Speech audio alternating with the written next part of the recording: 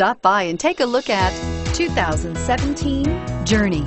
Dodge Journey combines the practicality of an SUV with the comfort of a car, all while boasting a style all its own. The Journey's optional third row seat, along with innovative features like a chilled beverage cooler and in-floor storage bins, make it a good and affordable alternative to a traditional minivan. This vehicle has less than 100 miles. Here are some of this vehicle's great options. Traction control, anti-lock braking system, air conditioning, power steering, cruise control, floor mats, FWD, AM FM stereo radio, rear defrost, climate control, multi-zone. Your new ride is just a phone call away.